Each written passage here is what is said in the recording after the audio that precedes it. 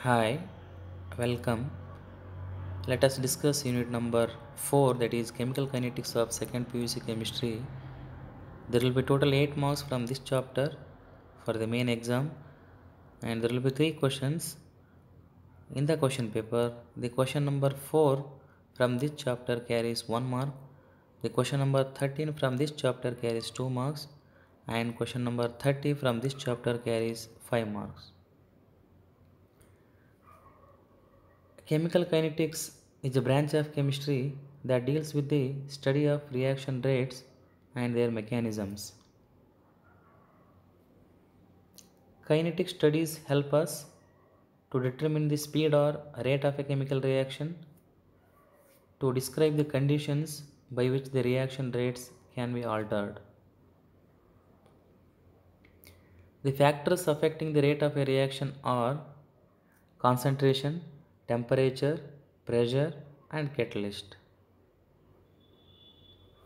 The different types of chemical reactions, fast reactions, example is precipitation of silver chloride, moderate speed reactions, and inversion of cane sugar and hydrolysis of starch, very slow reactions, example is rusting of iron in the presence of air and moisture. Rate or velocity or speed of a chemical reaction. The speed of a chemical reaction can be defined as the change in concentration of a reactant or product in unit time. Unit of rate of a reaction is concentration per time or mole per liter per second or atmosphere per second. A rate of a reaction can also be expressed in terms of the rate of decrease in the concentration of any one of the reactants or the rate of increase in the concentration of any one of the products. Consider a reaction where reactant gives product rate of disappearance of R that is reactant is equal to decrease in the concentration of R divided by time taken which is equal to minus delta concentration of R divided by delta T. Rate of appearance of product that is P is equal to increase in the concentration of P divided by time taken which is equal to plus delta concentration of P divided by delta T. Since delta R is a negative quantity because concentration of reactant is decreasing so it should be multiplied by minus 1 to make the rate of a reaction a positive quantity. The rate of a reaction measured over long interval of time is called average rate of a reaction. Average rate depends upon the change in concentration of reactants or products and the time taken for that change to occur. The rate of a reaction measured at very small interval of time is called instantaneous rate. Instantaneous rate is the average rate at the smallest time interval say dt that is when delta t approaches 0. Instantaneous rate is given by R instant is equal to minus d into concentration of R divided by dt which is equal to d into concentration of P divided by dt. For a reaction small a into capital A plus B into B gives Cc plus Dd where small a, b, c, d are the stoichiometric coefficients, capital A and B are the reactants, capital C and D are the products. Rate can be given as rate is equal to minus 1 divided by A delta A divided by delta T which is equal to minus 1 divided by B delta B divided by delta T which is equal to plus 1 by C delta C divided by delta T which is equal to plus 1 divided by D delta D divided by delta T. For a reaction, mercury which is liquid reacts with chlorine which is gas gives mercury chloride which is solid. Rate for this reaction can be written as rate is equal to minus delta Hg divided by delta T which is equal to minus delta Cl2 divided by delta T which is equal to plus delta HgCl2 divided by delta T. For the reaction 2Hi which is gas gives H2 which is gas plus I2 which is a gas. The rate of this reaction is given by rate is equal to minus 1 by 2 delta Hi divided by delta T is, equal to delta H2 divided by delta T which is equal to delta I2 divided by delta T. For the reaction 5Br minus which is aqueous plus BrO3 minus aqueous plus 6H plus aqueous gives 3Br2 aqueous plus 3H2 liquid. Rate for this reaction can be written as rate is equal to minus 1 by 5 delta Br minus divided by delta T which is equal to minus delta BrO3 minus divided by delta T equals to minus 1 by 6 delta H plus divided by delta T which is equal to 1 by 3 delta Br2 divided by delta T which is equal to 1 by 3 delta H2O divided by delta T.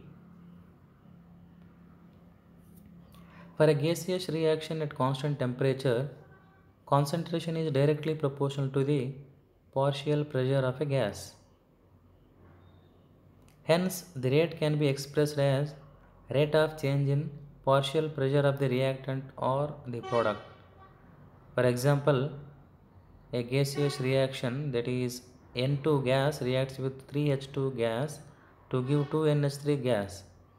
Rate for this reaction can be written as rate is equal to minus delta P N2 divided by delta T which is equal to minus 1 by 3 delta P of H2 divided by delta T which is equal to plus 1 by 2 delta P of NH3 divided by delta T. Let us know the factors influencing the rate of a reaction. Rate of a reaction depends upon experimental conditions such as concentration of reactants, pressure in case of gases, temperature and catalyst. Dependence of rate on concentration. The rate of a chemical reaction at a given temperature depends upon the concentration of one or more reactants and products. The representation of rate of a reaction in terms of concentration of the reactants is known as rate law or rate equation or rate expression.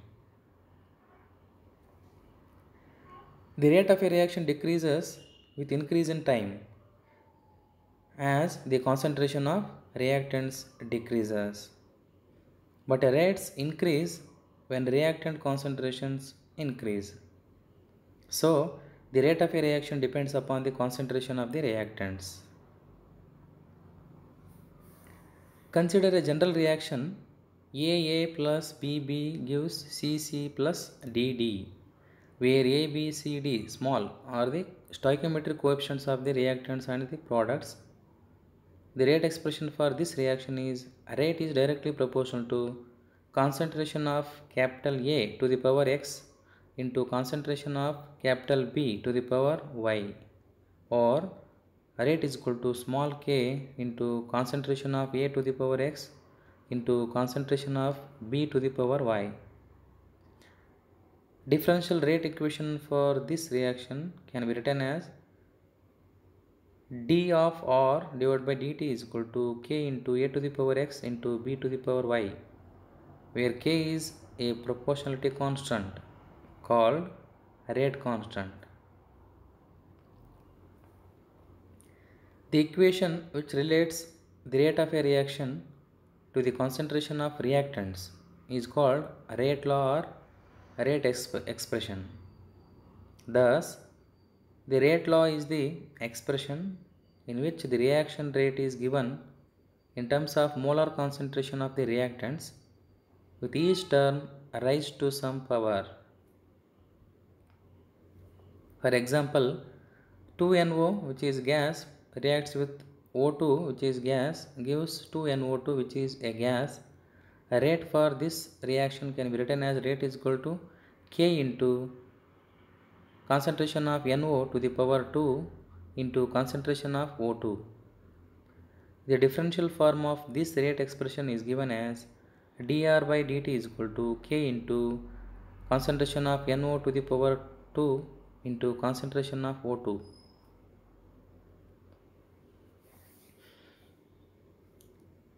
For the reaction CHCl3 which is chloroform reacts with chlorine to form carbon tetrachloride plus HCl.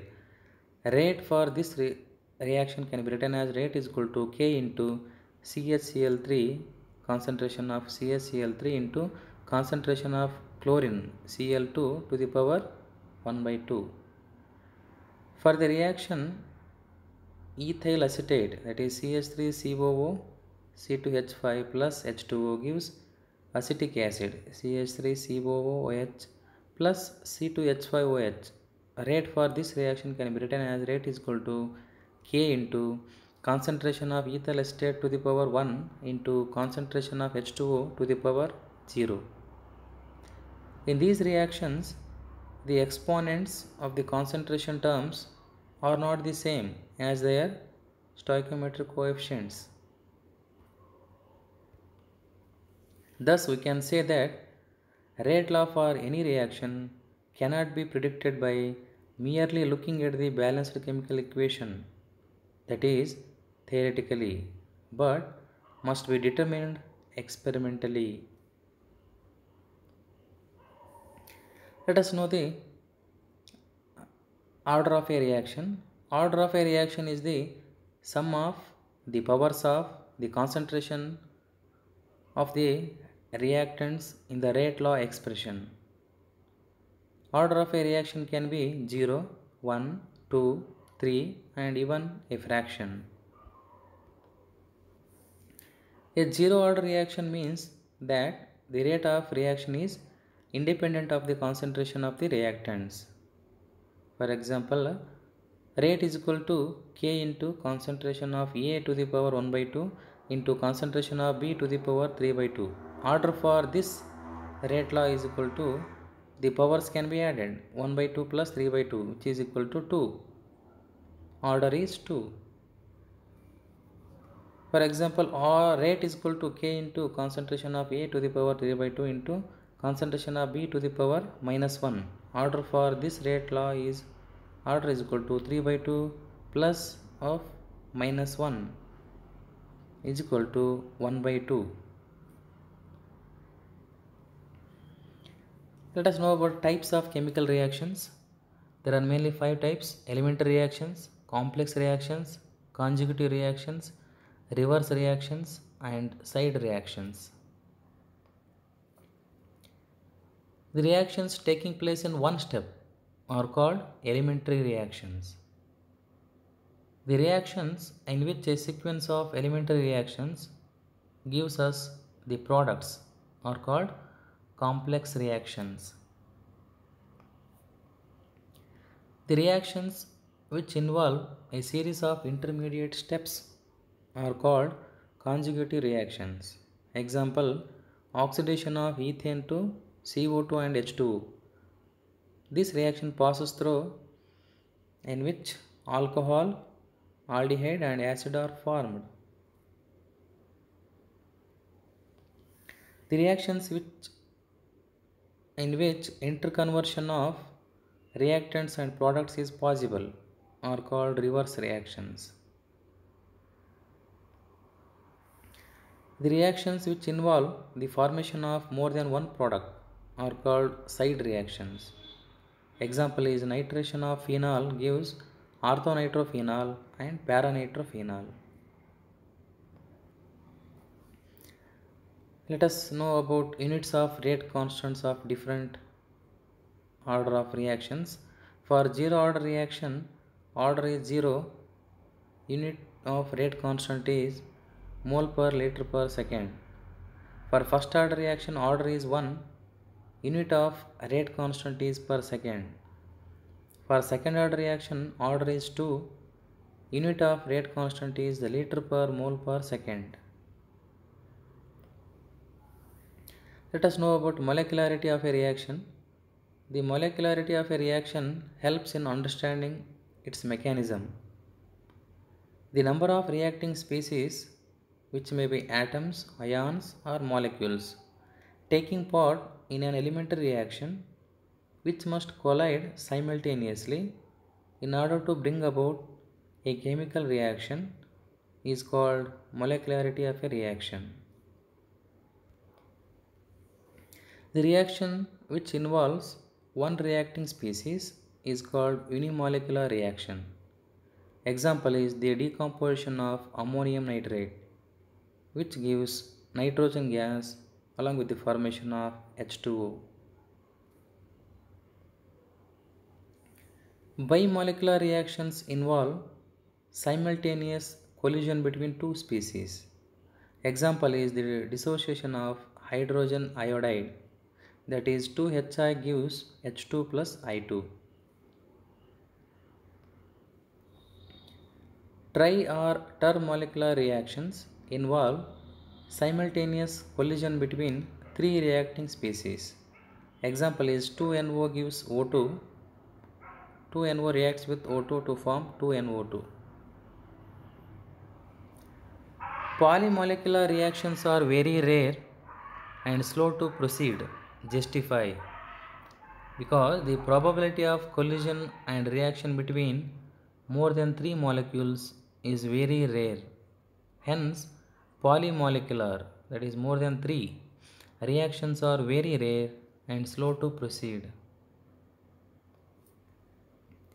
The complex reactions involving more than three molecules in the stoichiometric equation must take place in more than one step. The overall rate of the reaction is controlled by the slowest step in a reaction, which is called rate determining step, that is RDS. The decomposition of hydrogen peroxide in the presence of iodide ion as a catalyst in an alkaline medium, which is given as 2H2O2 in the presence of I minus and alkaline medium gives 2H2O plus O2. The rate equation for this reaction is rate is equal to minus d of concentration of H2O2 divided by dt which is equal to k into concentration of H2O2 into concentration of I minus. This reaction is first order with respect to both H2O2 and I minus. But this reaction takes place in two steps. In the first step, H2O2 reacts with I minus to form H2O and IO minus. In the second step, it H2O2 reacts with IO minus to give H2O plus I minus plus O2. Both the steps are bimolecular elementary reactions. The species IO minus is called intermediate though it is formed during the reaction but does not appear in the overall balanced equation. The first step being slow is the rate determining step. Thus, the rate of formation of intermediate will determine the rate of this reaction. Order of a reaction is an experimental quantity. Order can be 0 and even a fraction, but molecularity can't be 0 or a non-integer. Order is applicable to elementary as well as complex reactions, whereas molecularity is applicable only for the elementary reactions. For a complex reaction, molecularity has no meaning. For complex reaction, order is given by the slowest step and molecularity of the slowest step is same as the order of the overall reaction. Let us know the differences between order and molecularity. Order is the sum of the powers of the concentration of the reactants in the rate law expression. But the molecularity is the number of reacting species taking part in an elementary reaction which must collide simultaneously in order to bring about a chemical reaction. Order can be 0 and even a fraction, but molecularity cannot be 0 or a non-integer. Order is applicable to elementary and complex reactions, but molecularity is applicable only for elementary reactions. Let us know how to derive rate constant for zero order reactions. Zero order reaction is the one in which rate of a reaction is proportional to 0 power of the concentration of the reactants. Consider reaction where reactant gives product that is R gives P rate for this equation rate is equal to minus d of concentration of R divided by dt which is equal to K into concentration of R to the power 0 R to the power 0 is equal to 1 hence K into 1 which is equal to K. Rate means dr divided by dt. So dr is equal to minus k into dt. Integrating both sides we get concentration of r is equal to minus kt plus i where i is integration constant. Concentration of initial initial concentration of reactant that is r naught give is equal to minus k into 0 plus i. Because at time t is equal to 0 concentration of reactant becomes equal to initial concentration of the reactant that is r naught. Hence r naught is equal to i. From equation 1 concentration of r is equal to minus kt plus concentration of r at initial. At initial stage. Therefore rate constant that is k is equal to initial concentration of the reactant minus concentration of reactant divided by t that is time. That is this is the expression for rate constant of zero order reaction. Examples of zero order reactions are the decomposition of gaseous ammonia on a hot platinum surface at high pressure. Second one is the thermal decomposition of hydrogen iodide on gold surface. This is a graph for zero order reaction where we plot concentration of reactant versus time which gives a straight line having slope is equal to k.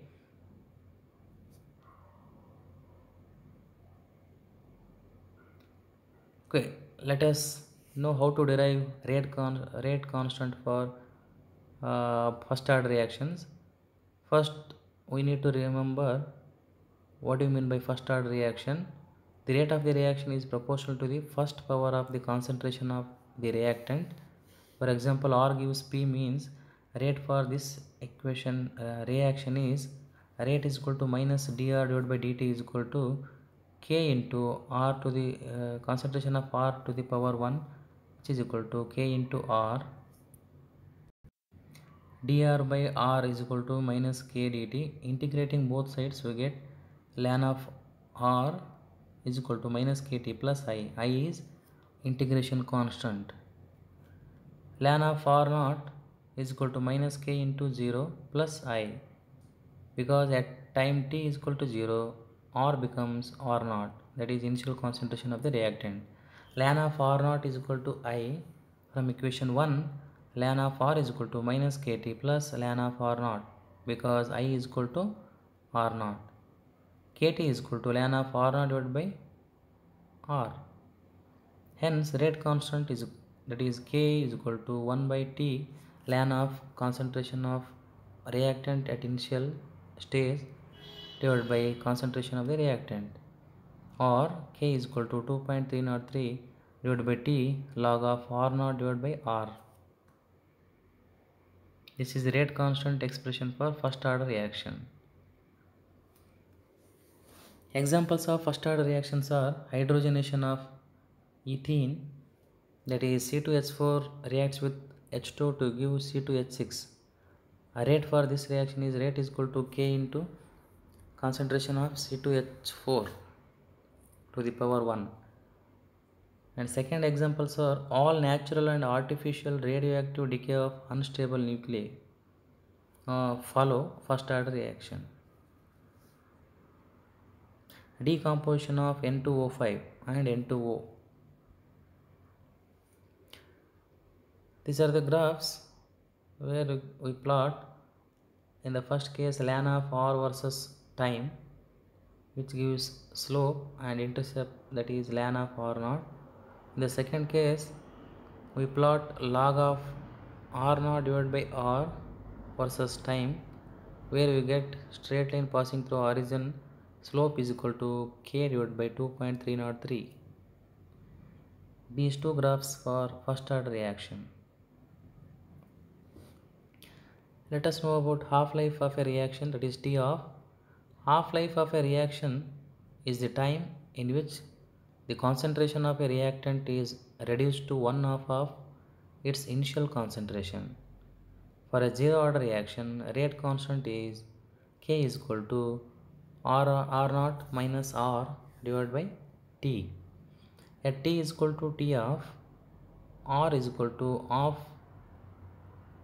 R naught the rate constant at t no t of becomes k is equal to r naught minus 1 by 2 r naught minus divided by t of or t of is equal to r naught divided by 2k that is t of for a zero order reaction is directly proportional to the initial concentration of the reactants and inversely proportional to the rate constant For first order reaction, K is equal to 2.303 divided by T log of R naught divided by R. At T is equal to T of R is equal to R naught divided by 2. The equation 1 becomes K is equal to 2.303 divided by T of log of R naught divided by R divided by 2. T of is equal to 2.303 divided by K log of 2 which is equal to 2.303 divided by k log of 2 is equal to 0.301 which is equal to 0.693 divided by k. That is t of is equal to 0.693 divided by k. For a first order reaction half life period is constant. That is it is independent of the initial concentration of the reacting species.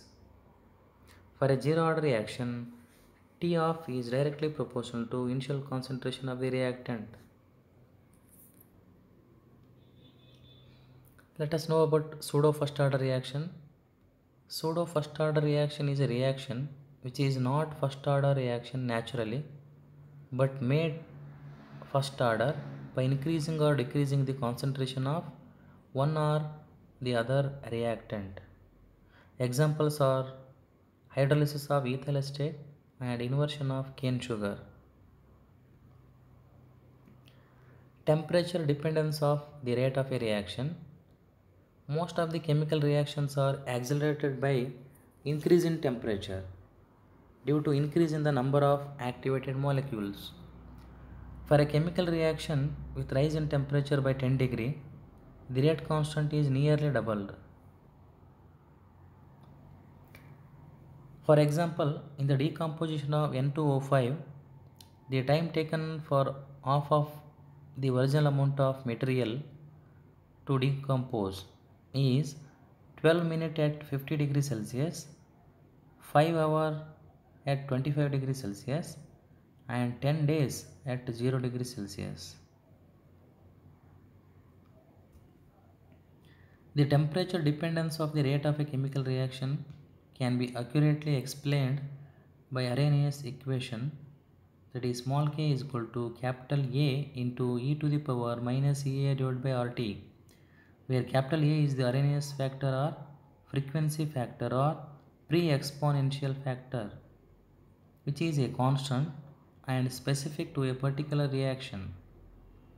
Capital R is a gas constant and EA is activation energy which is measured in joules per mole. This is a diagram and also a graph where there will be formation of intermediate H2 reacts with I2 to form a intermediate and which finally decomposes to give two molecules of HI. In the graph we can plot potential energy versus reaction intermediate.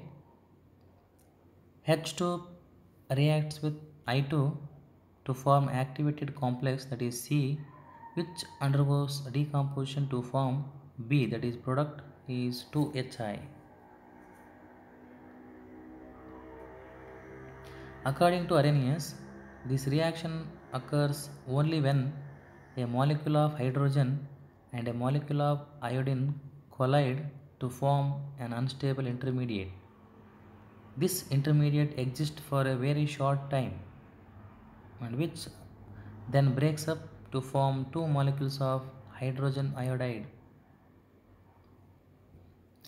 The energy required to form this intermediate or activated complex is known as activation energy or energy of activation. This is a graph where we plot ln of k versus 1 by t. Here k is rate constant, capital T is the temperature which gives intercept which is equal to ln of a and slope which is equal to minus E divided by r the plot of ln of k versus 1 by t gives a straight line that is ln of k is equal to minus Ea divided by RT plus ln of A. Log of k2 divided by k1 is equal to Ea into T2 minus T1 divided by 2.303 R into T1 into T2.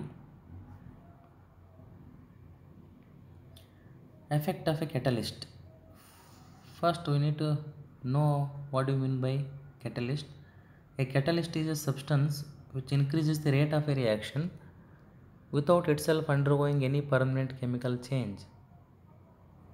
For example, in the decomposition of potassium chlorate that is KClO3, manganese dioxide is acting as a catalyst to give 2 molecules of KCl and 3 molecules of oxygen molecules. The substance added to the reaction that reduces the rate of a reaction is called inhibitor.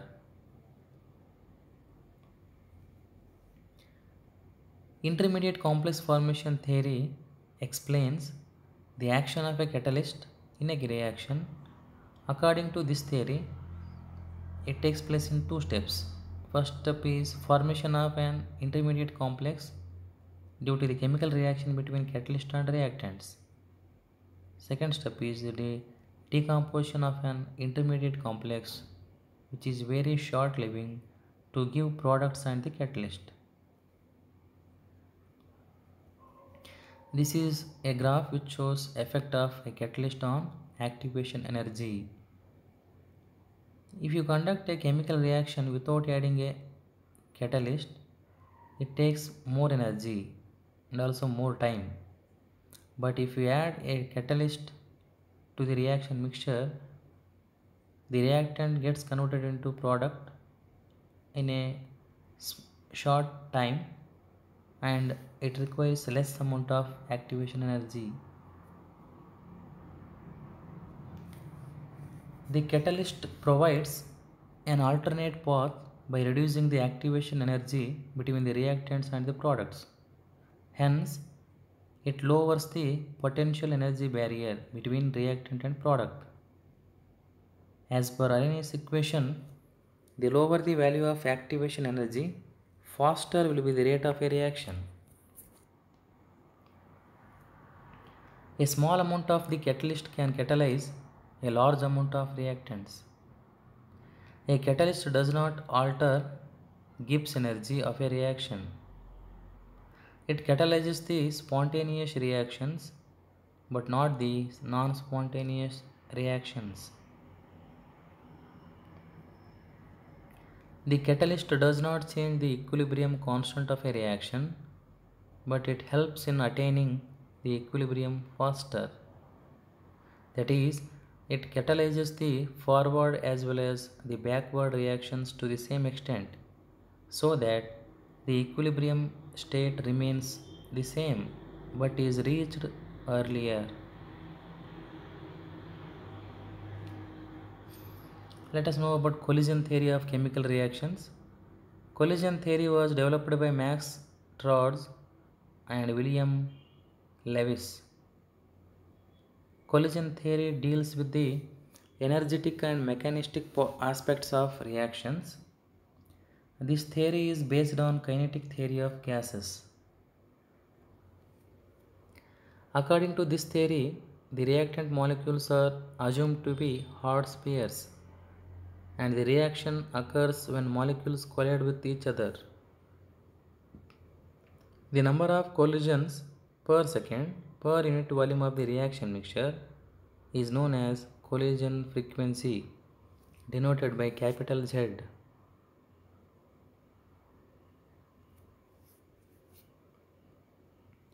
The factor which affects the rate of a chemical reaction is activation energy for a bimolecular elementary reaction, that is A plus B gives products, the rate of reaction can be expressed as rate is equal to ZAB into E of minus EA divided by RT,